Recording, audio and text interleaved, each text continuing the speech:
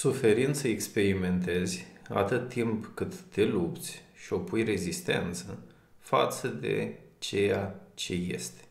Adică lucrurile stau cum stau, tu ai vrea ca ele să stea altfel decât stau, așa că opui rezistență felului în care lucrurile stau și în felul acesta experimentezi suferință.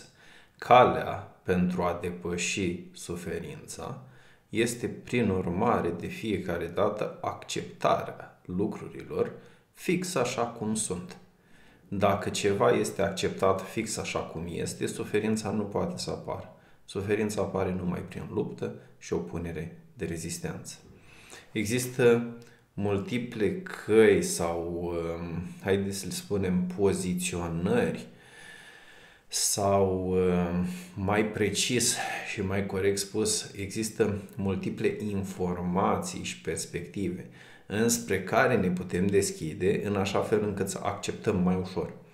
Informația care mie mi se pare cea mai de folos este cea în care acceptăm că dacă ceva este, este permis de către Dumnezeu, Dumnezeu nu permite ceva care să nu fie la locul său, fiindcă Dumnezeu este iubire infinită, prin urmare, dacă Dumnezeu a permis, și eu pot să accept.